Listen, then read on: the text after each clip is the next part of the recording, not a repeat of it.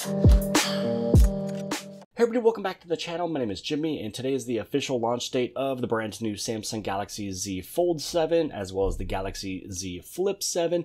And today we will be doing Samsung Smart Switch to transfer from my Galaxy S25 Ultra over to the Galaxy Z Fold 7, as this one will be my daily driver, along with the Galaxy Watch 8 Classic. Now, right now, all we're doing is just looking at these main screens, but I'm going to show you everything you need to know when it comes down to transferring from your old device to your new device, what all could be transferred, and some of the tips and the tricks. Also, the order of which I do everything in. So first off, once you get your brand new phone, you head over into your start screen. Now from here, you just hit on accept for all of these ones here. And then this is where you'd be able to, uh, you know, switch from your Galaxy or Android phone, or you can switch from iPhone or iPad, or you can just set it up manually. Now over here, I'm getting flashed with this little notification stating that I'm able to set this up. So all I'm going to do is I'm going to tap on that little icon there, and I'm going to see exactly what pops up over here. And then I just scan this QR code. This is where I'm just going to put in the pin from this device over here to uh, confirm that this is my identity. Now, once you've done that, it's going to head over. It's going to connect to some Wi-Fi. So it's already connected to a, uh, a saved Wi-Fi that was on this phone over here. So again, making this just super simple. Now, I'm not going to move everything over, especially I'm not going to move over all of my settings only because I always love to do the video of all of the uh, settings to change immediately the moment you get yourself a brand new Samsung Galaxy device. So I will be transferring content over, a lot of my data over, but there's a few things that I'll say no to. Also, I'm not going to transfer everything over. I'm just going to transfer everything from probably just the last 30 days.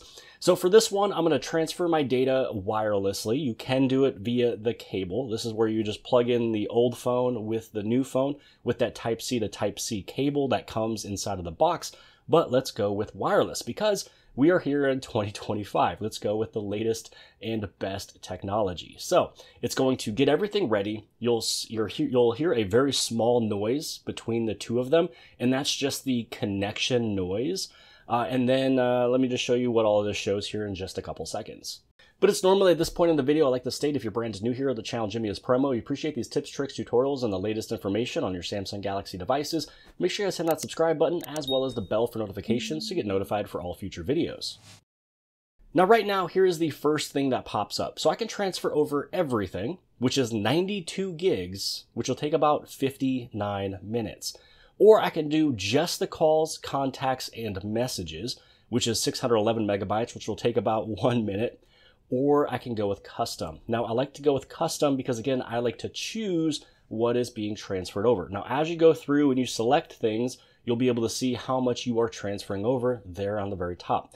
Now, when it comes down to all of these arrows that you see over here, it's just letting you know that you can expand it so that you can do custom selections per each category. Because when it comes down to applications, maybe you don't need everything to move over, but when you go inside of here, you can select which ones you would like to move. So you can see here I have 189 applications that is selected. If I wanted to, I can deselect a few of them if I don't want them to move over. Maybe I'm done with that application. But this is just where you're able to select what you want to move over. And if I was to unlock my secure folder right now, then I'll be able to transfer everything within the secure folder, which is pretty cool because the past older Samsung Smart Switches did not allow for uh, the secure folder to transfer over. So I'm going to go with the applications, messages, and calls and contacts. When it comes down to the calls and contacts, this is uh, expanding out to all of your Gmails. So maybe that there is a specific Gmail that you don't need to move over. Maybe it's just an old one or a trash one that you use for spam. You don't have to move it over, but this is where you can select which ones are moving over. For the Galaxy wearable, I don't need to move anything just because I'm going to just, you know, fully set this thing up. And I also kind of like the way it is anyway. So I'm going to go through it and just do it manually. Um, I, let's see here, when it comes down to the home screen, I'm not going to move over my home screen or my settings. Actually, I'll go through some of the settings because I don't need to have the customization. I don't want my phone settings and permissions to go through or the uh, app. So I will have some of my language packs go through, my connections go through. So a lot of this personalization and customization stuff, I'm not going to transfer only because I personally manually do it for a YouTube video. So again, that is why it's nice you have the arrow that you can select. For the home screen, this is going to bring over the widget layout and stuff. So because that is also a part of the video, I'm not going to transfer that over. But if you want your phone to almost kind of be mirrored like over, just select everything.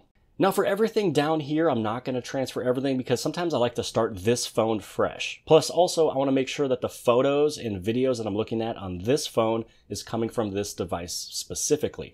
Now, if I was trading this phone in and I was getting rid of it, and I didn't have the possession of this phone like I will, this is where everything will transfer over. So if you are trading in this phone and you're not going to have it in your possession, then just transfer all of your images, videos, audio, and everything else.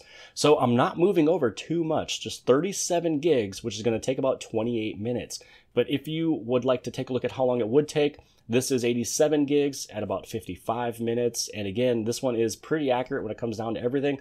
So I, because I have this device and I can transfer these over at any point in time because I'm still holding on to it, I'm going to leave the pictures and videos here because then all the pictures and videos you see on this phone, on this channel, came from this device. So now I'm just going to go to transfer. Also transfer your watch. So the Galaxy Watch Ultra, I'm not going to do that because this one is going to be using the Galaxy Watch 8 Classic, which is the one that I prefer over the Ultra, just because of the physical bezel. Even though the Ultra is louder and it has a slightly larger display, a slightly larger battery, and also more internal storage, uh, I just like the, the look and the feel and the operation of the Classic. So for my biometrics, this is where I'm going to go through and I'm going to set up both of them. So let's go for the face. Here are some of the settings for your face recognition, and sometimes you might forget that you have all of this stuff on your phone. You can always go back. This is one that I don't turn on, which is the brighten screen, because you might be trying to unlock your phone, maybe in a movie theater or a a dimmer lit location, maybe like your living room or bedroom, and you don't want your screen to just blind you. Uh, but yeah, you also have the option for require eyes to be open stay on lock screen until swipe, which I think is kind of dumb. You know, if you're trying to unlock your phone, just get in your phone. Why do you have to unlock it and then swipe it to get into the phone? So everything that they have set up here is perfect. Face unlock and require eyes open. These other two, you do not need to have them turned on. Now that we are in the process of transferring every single thing over, you might be wondering, Jimmy, when do you move over your SIM card? And I always do mine last. The reason being is because everything is already on this phone. This is your life, basically. Maybe you got a text message, a phone call, or an email that you have to respond to whenever this is all done. So what happens is once everything is then transferred over, you already took a look at this phone and you noticed all of your pictures, your text messages, your contacts, everything has moved over. That is then when you move the SIM card over, so once everything has moved over, you did your test call, your test text message, you made sure everything is already on this phone, you moved over your SIM card, everything is good to go over here. This is then when you are able to log out of your Samsung account and your Gmail, especially the Samsung account for the Samsung theft protection. Because what happens is that if you factory data reset this phone without taking off your Samsung account or your Gmail, what'll happen is that the next person who turns it on has to put in those credentials with that email and password to even get into the phone to do anything. It's just one of those protections for theft because if anybody just steals your phone, factory data resets it, they can't do anything without the uh, uh, original credentials on this phone. So you just take off your Gmails over here, then you do your factory data reset, and then you trade it in or sell it, do whatever you need to do, and everything is right here ready to go. That is the process I do, which is Samsung Smart Switch, then the SIM card, ensure everything is right here with the text call and uh, text message. Log out of your Gmails over here. You don't have to log out of anything else or take off anything. You just have to log out of your uh, Samsung account in Google and factory data reset it. This entire process is done and enjoy your new phone. Once everything transfers over, you just have to wait for everything to be organized. So, especially if you chose the options for all of your home screens and your wallpapers and applications and your folders to move over, this is where some of the organizing is happening. Along when it comes down to text messaging, because it's putting all of your text messages in order, you know, per each conversation, and then with each conversation, putting it also in order there and your images and so on and so forth. So, when it comes down to the organizational portion of it, it will take a little bit. So as you can see, my home screen here is kind of stock and out of box, except for the wallpaper. That's okay. I mean, just my little AI generated content wallpaper that I made, that's fine. I'm going to leave it here. But for the rest of everything else, I'm going to leave it the way it is. I didn't want to have all of my folders and applications and everything and settings move over just because, again, that is my next video, which is all the settings to change immediately the moment you get yourself a Samsung Galaxy device because there is a lot to change. What is still kind of coming through when it comes down to this transfer over here is some of the organizational things, but really it's just downloading my applications. Taking a look at this, a lot of these are still coming in. If I leave it on this page, you'll see more and more applications just dropping in. And then this is where you'd want to just log in with some of those applications. Now, if you have your Samsung Pass from your old Samsung phone and you've already had all of your saved logins, it's going to make it a lot easier and quicker when you have everything over here. So once again, you log in or take a look at your Samsung account, make sure that you are logged in. So this is where you just make sure that your phone logs have come through, your contacts have come through, you took a look at your text messages, making sure that those things have come through. If you transferred over your gallery, make sure that those things have come through. And I didn't want to move over anything over because I want to make sure anything that's on this phone came from this phone. That's just me personally because I am still holding and possessing this phone here. If at any time I do want these pictures over, I just open up Smart Switch on both of these phones and I only select gallery.